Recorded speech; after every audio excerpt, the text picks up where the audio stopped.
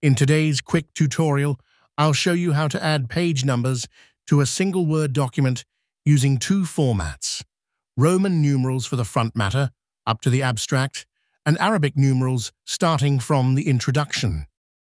We'll place the page numbers at the bottom center of the page, and we'll also hide the number on the cover page. Let's start by adding the Roman numerals. I'm double-clicking in the footer area to activate it, then I'll center the cursor using the paragraph options so the number appears in the middle.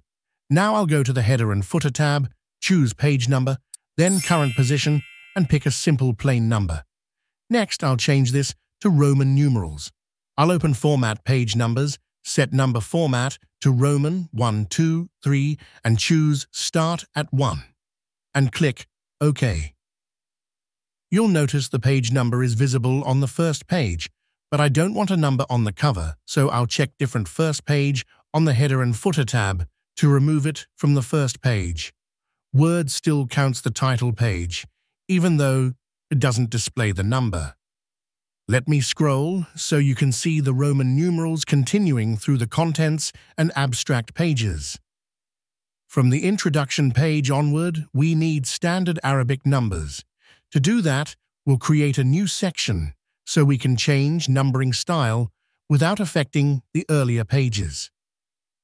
I'll click at the end of the page before the introduction, go to the Layout tab, open the Page Setup dialog, and under Apply to Down, near the Preview section. I'll choose this point forward, then OK. This creates a new section starting at the Introduction. Now I'll double-click the footer on the Introduction page. Very important. I'll turn off Link to previous, so the footer in this section is independent. With the footer unlinked, I'll insert the page number just like before. Page number, current position, plain number. Now I'll open Format Page Numbers again, choose the Arabic number format, and set Start at 1, so the introduction begins at page 1. Click OK, and we're done.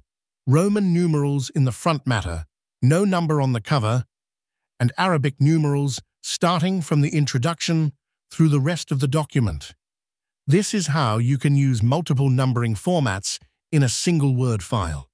If this video helped you, please give it a like, subscribe for more quick word tips, and drop a comment if you want a tutorial on appendices or custom chapter numbering.